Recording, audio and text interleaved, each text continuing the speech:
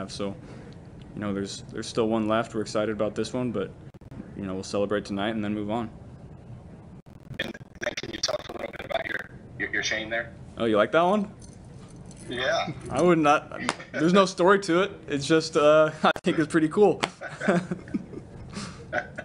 You, you think uh, the rest of Cincinnati is going to have JB9 chains over the next two weeks? They'll, they'll make their own. I'm sure you saw the sunglasses. if the if the yeah if the, if the glasses are any any indicator, I would say yes. Okay, next question is Charlotte